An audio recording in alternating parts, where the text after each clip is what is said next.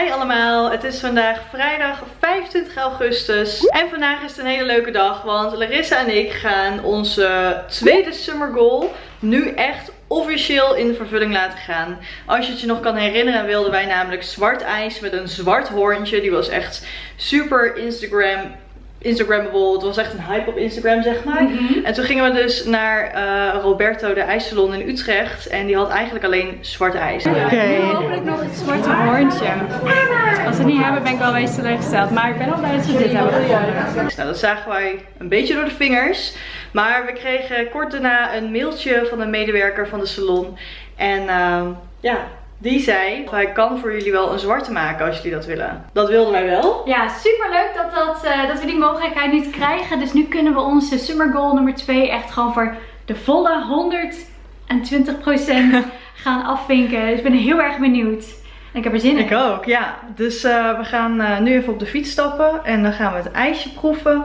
En dan eh, kunnen we hem echt officieel met een hele dikke vette V afvinken. Ik heb er heel veel zin in en ik vind het echt super lief dat ze dat überhaupt heeft gevraagd aan Roberto zelf. En eh, gewoon erover na heeft gedacht om dit dan weer aan ons te vragen of we dat wilden. En, Ja. ja, gewoon überhaupt. Het is echt super tof. We zijn er! En het is weer echt fantastisch lekker weer. We zweten ons helemaal kapot. Dus we zijn echt toe aan dat ijsje.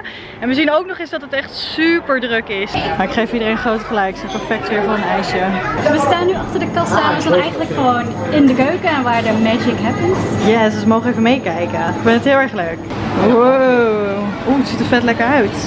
Kijk, zetten wij eventjes in de shopfreezer. Daar zijn ze hoor. We zien nu de zwarte hoorntjes en hij gaat nu laten zien hoe hij die maakt. Deze vind is echt super cool. Deze is natuurlijk eh, de mengsel. Wij hebben natuurlijk een zwart gemaakt met eh, onze poeder. Nou, je hebt een plaat nodig. Zo in. Even drukken. Duurt één minuutje. Kijk, nu heb je deze.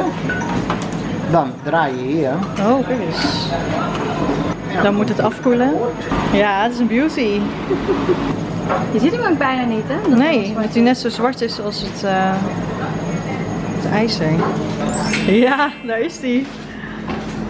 Wauw. Dankjewel. Het is toch super vet? Dit is hem jongens. Zwart hoorntje, zwart ijs. Ultimate goals. We hebben ons zwarte ijsje even in een snel vriezer of een super vriezer gezet. Zodat hij extra koud wordt, zodat we goed kunnen shooten straks. En in de tussentijd hebben we een ijsje proeven. Het is uiappel. Ik, heb hem... ik vind hem eigenlijk best wel lekker. Ja. Ik proef niet heel erg de uien. Nee, die is heel, heel Deze is um, watermeloen met voort. Met port. Watermeloenport. Oeh, die vind ik heel lekker. Oh, wacht, nu proef je een heel klein, heel klein beetje portoflage. Echt super lekker. Wat een interessante smaak hè? Ik vond ze allebei wel lekker, ja. Heel erg lekker. Nou jongens, hier liggen ze. We hebben ze meegenomen heel eventjes in een doos. Dan gaan we straks uitgebreid Instagram foto's maken. Nog een keer, want nu is het echt officieel. En eh, ik wil nog heel eventjes Carlina heel erg bedanken voor contact opnemen met ons. En dat we dus het zwarte hoorntje er nu ook bij hebben. Super vet. Ja, en uiteraard eh, Roberto, want we hebben net allemaal leuke informatie en verhalen gehoord. En het was gewoon zo ontzettend gezellig dat, dat we gewoon allemaal informatie en eh, een soort van mini rondleiding hebben gehad. Ja, dat vond ik ook heel leuk. Heel gezellig. Dus er is, nu is het officieel. High five.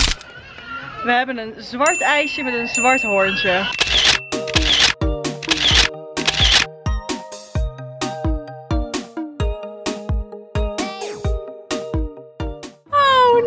Oh nee, kijk aan, waar is die?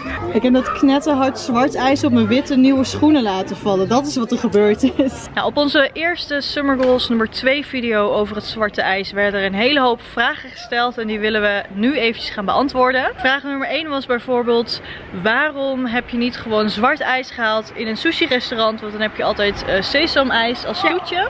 Ja, nou, het antwoord daarop is, het is niet echt compleet zwart ijs. Het is wat meer grijzig.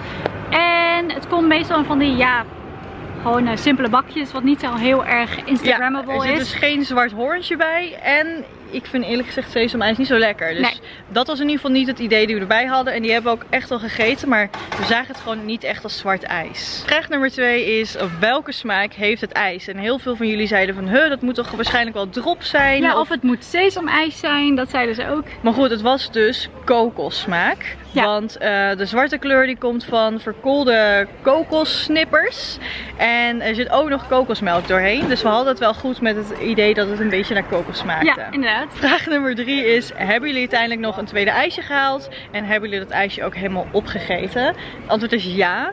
We zijn heel erg anti-food waste. Dus die ene is helemaal opgegaan. En we zijn daarna nog een keertje naar binnen gegaan voor nog een ijsje. Ja, ook al zie je bij ons gewoon uh, foto's van eten voorbij komen op Instagram of waar dan ook. We eten het altijd gewoon op. Want we vinden het altijd ook gewoon heel erg lekker. En ik kan je even vertellen, we hebben echt vandaag heel veel ijs gegeten. we hebben niet eens alles geïnst of um, we hebben niet eens alles gefilmd. Maar ik denk dat we misschien wel ieder vandaag zes bolletjes ijs op hebben. Ja, dus, want we hadden alle ijsjes die voor op de foto waren, die hebben opgegeten. Die kregen we toen we aan het wachten waren. Op de snelvriezer kregen we nog een ijsje. Ja. Echt, uh... Heel, we hebben echt een ijsbuik. We zijn echt verwend. Ja, super lekker. nou, ik denk dat dit echt een perfect, uh, perfecte start is van een endless weekend. En ik hoop dat jullie het leuk vonden om te zien dat we nu ons summer goal echt volledig hebben kunnen afvinken. En dat jullie deze zwarte hoorntjes en het zwarte ijs ook super tof vonden om te zien. Ja, en ik hoop dat jullie onze foto op Instagram ook heel erg leuk vinden ervan. Vergeet hem zeker niet te liken. en te delen als je dat wilt. Wat we nog wel even willen zeggen is dat Roberto deze hoorntjes speciaal voor ons heeft gemaakt. Ze zijn dus niet verkrijgbaar. Dus het spijt me heel erg. Maar uh, als je naar Roberto gaat kun je waarschijnlijk wel het zwarte ijs scoren. Maar niet het hoorntje. Die was echt speciaal voor ons. Dus dat voelde ook wel extra speciaal. We willen sowieso ook nog een hele dikke vette shout-out geven naar IJsselon Roberto. Heel erg bedankt dat we vandaag bij jullie langs mochten komen. En uh, ja, kom je wel eens in Utrecht, ga zeker even langs deze IJsselon. Want dat is denk ik wel de lekkerste van Utrecht. Ja. We zullen even alle adres, details in de beschrijving zetten. En dan kan je ze ook uh, komen opzoeken. Dus super bedankt voor het kijken naar deze video. Geef hem vooral weer een duimpje omhoog. En vergeet je ook zeker niet te abonneren op ons kanaal. En dan zien jullie heel snel weer in de volgende video. Doei.